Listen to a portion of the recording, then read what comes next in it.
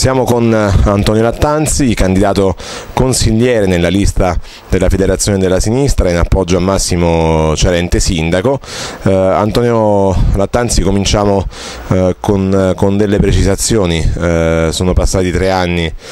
dal, dal, terremoto, questo è un momento decisivo eh, per la storia, per il futuro della città. Tu hai qualcosa da dire eh, in, in merito di molto, molto preciso? Sì, innanzitutto una, una, nota positiva che è proprio quella della lista della Federazione della Sinistra. Per la prima volta dalla scissione del 98 Rifondazione Comunista e i comunisti italiani decidono di andare insieme alle elezioni perché c'è bisogno di sinistra come è il nostro slogan e quindi abbiamo cercato di riunire almeno un pezzo di sinistra, ma il nostro progetto è quello di andare ancora oltre perché dobbiamo ricostruire in questo paese e anche in questa città una sinistra vera perché ce n'è veramente una grande necessità. Le, Ehm, le vicende di rifondazione comunista eh, in questi cinque anni di amministrazione Cialente sono abbastanza note, però qualche precisazione va fatta. Noi eravamo in giunta dall'inizio e io ero assessore, ricoprivo il ruolo di assessore alle politiche abitative e immigrazione e abbiamo penso svolto un, buon, un ottimo lavoro che ci è stato riconosciuto soprattutto dai cittadini. Poi dopo il sisma, subito dopo il sisma, nel momento in cui ci siamo resi conto che la città era stata commissariata e le funzioni della giunta municipale municipali erano state espropriate da protezione civile e dal governo, noi, abbiamo, noi unici nel panorama politico cittadino abbiamo avuto il coraggio di una scelta molto forte che è stata quella di passare all'opposizione e conseguentemente di dimettersi dalla giunta municipale. Tanto ho fatto. E forse adesso qualcuno ci ha dato ragione perché eh, quella situazione che noi vivevamo adesso sta, si sta modificando e le funzioni principali per quanto riguarda la ricostruzione e l'assistenza alla popolazione sono, stanno ritornando progressivamente nelle mani del comune. Tant'è vero che siamo rientrati in giunta con l'ottimo assessore Fabio Pelini, eh, assessore proprio all'assistenza alla popolazione, che sta facendo un ottimo lavoro e ha già prodotto, eh, a parte lo svuotamento degli alberghi e l'occupazione di tutte le case tutti MAP, ma anche questo grande strumento che è il regolamento comunale per la partecipazione. Ecco, a proposito di, di, alloggi, di sistemazioni, questo è ancora ovviamente un problema molto sentito all'Aquila. Ehm, la, la, macchina comunale secondo voi ehm, sarà in grado di, di, di, gestire dopo le elezioni, ammesso che Ciarente ce la faccia a vincere queste elezioni, eh, la macchina comunale sarà in grado di caricarsi sulle spalle tutto eh, il lavoro che, che ci sarà da, da oggi in poi con la fine della struttura commissariale?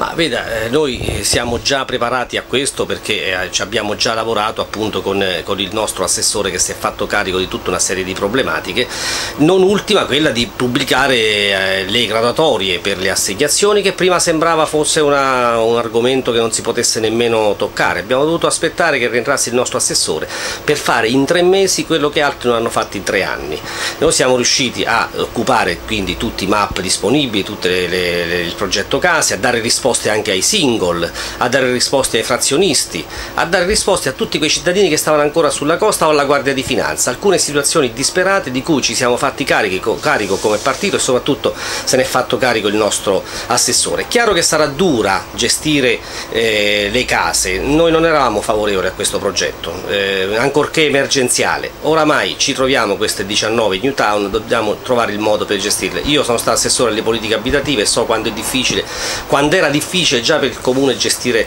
gli alloggi che aveva a, a suo tempo, adesso con questo incremento così enorme i problemi saranno seri ma li dovremo affrontare anche eh, facendo appunto pagare un, eh, un, affitto a chi era in affitto comunque per poter a, avere delle risorse per la manutenzione, quantomeno la manutenzione ordinaria del, e, e straordinaria quando capita di questi immobili.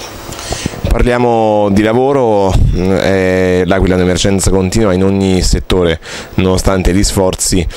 questa crisi che non riguarda soltanto l'Aquila, da noi in questa città si sente eh, molto di più. Eh, lei ha ben chiara la situazione, che cosa pensate di, di, di fare, quali, vostre, eh, quali saranno le vostre iniziative nel caso in cui all'Aquila si dovesse continuare con ad esempio una cassa integrazione che sta eh, evidentemente mostrando eh, tutta la, la bruttezza di questa crisi economica. Ma guardi,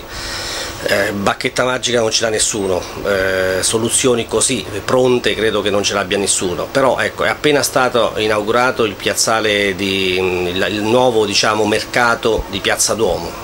solo che la piazza non sta più lì, è stata spostata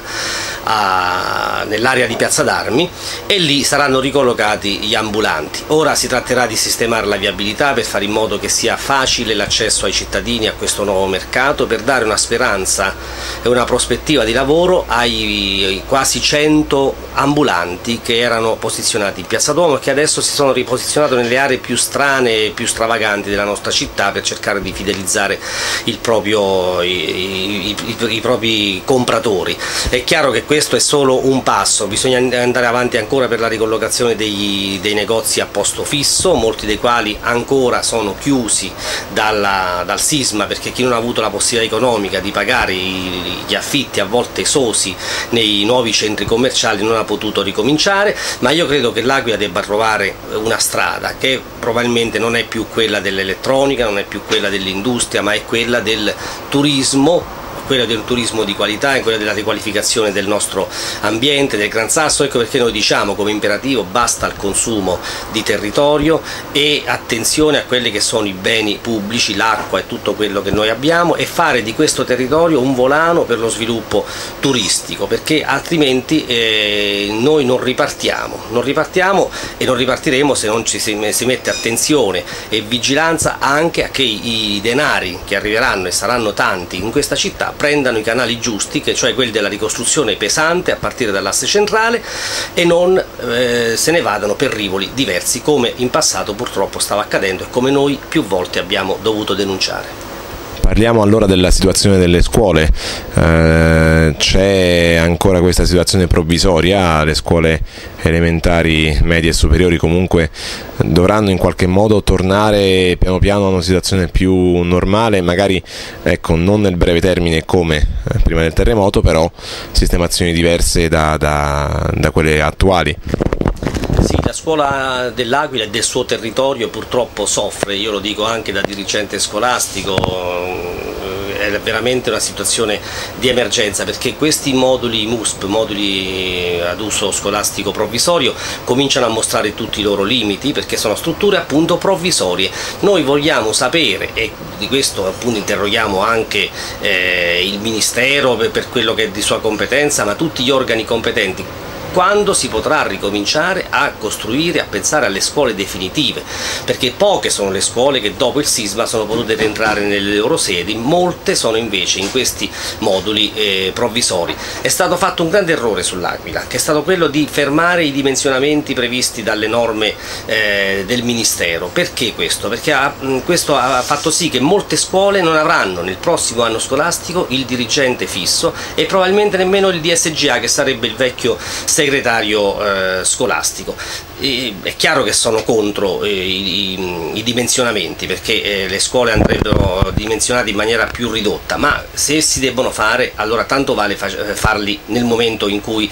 è necessario più, piuttosto che rimandare di un anno, perché noi non sapremo adesso eh, che cosa succede nell'anno scolastico 2012-2013. Eh, ancora non abbiamo monitorato bene il flusso dei, degli studenti, non sappiamo ancora quante classi saranno autorizzate, ma sappiamo una cosa invece fondamentale, che in queste condizioni la scuola sta eh, attraversando un momento di estrema difficoltà e rischiamo di perdere ancora alunni rispetto a quello che già abbiamo perso in questi, in questi tre anni. Non si può rimanere in queste strutture a tempo indeterminato, bisogna che si cominci a vedere qualche segnale di ricostruzione o di nuova costruzione delle vere scuole che possano essere funzionali al sistema educativo del nostro Paese.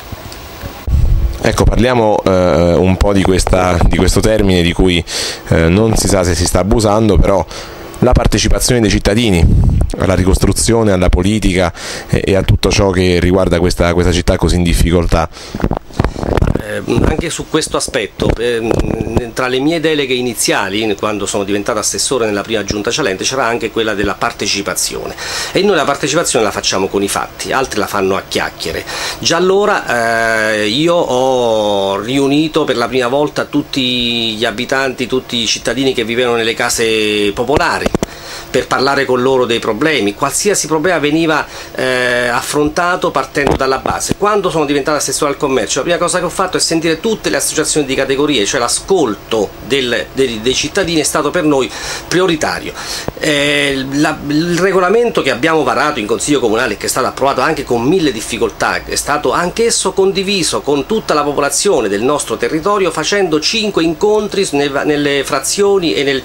e nel, nella città dell'Aquila da parte del nostro assessore. Ora questo strumento è a disposizione di tutti, ma noi le, le cose le abbiamo fatte, altri invece parlano di partecipazione, hanno con, eh, continuamente altre forze politiche, anche di queste che si sono formate adesso questi, eh, in questi ultimi tempi, dicono che vogliono attuare la partecipazione, noi l'abbiamo fatto e quindi eh, ritengo necessario e chiedo per questo il sostegno dei cittadini perché una presenza comunista all'interno del Consiglio Comunale dell'Aquila è fondamentale perché noi in questi anni, in questi cinque anni, sia quando siamo stati in maggioranza sia quando siamo stati all'opposizione, siamo stati un pungolo per l'amministrazione attiva, quando siamo stati noi al governo ce lo siamo eh, portato avanti come nostro sistema di conduzione delle, dei nostri assessorati e così vogliamo continuare a fare. Noi chiediamo fiducia perché di, no, di noi credo che i cittadini alla luce dei fatti possono veramente fidarsi.